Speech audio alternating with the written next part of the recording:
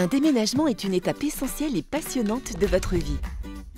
L'idéal est de bien s'y préparer, car ce changement s'accompagne d'une foule de choses à faire. Il est par exemple essentiel de penser à votre gaz et électricité. Un déménagement est également l'occasion idéale de changer de fournisseur. Rendez-vous sur le site internet de Brugel et comparez les tarifs des différents fournisseurs grâce au simulateur Brusim. Vous devez conclure un nouveau contrat auprès de votre ancien ou de votre nouveau fournisseur un mois avant la date effective de votre déménagement.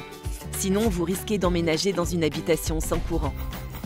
Avant de partir, vous devez relever les compteurs de votre ancienne adresse. Faites-le en présence du nouveau propriétaire ou locataire de votre ancien logement, lors de la transmission des clés par exemple. Cette démarche permet d'éviter toute contestation des index des compteurs a posteriori mais aussi de vous assurer que vous ne devrez plus payer l'énergie consommée à votre ancienne adresse. Vous et le nouveau locataire ou propriétaire devez compléter le document de reprise des énergies en deux exemplaires. Ce formulaire est téléchargeable sur le site de Brugel. Communiquez vos relevés de compteur à votre fournisseur le plus rapidement possible, par exemple par téléphone. Ces données lui seront nécessaires pour établir le décompte final.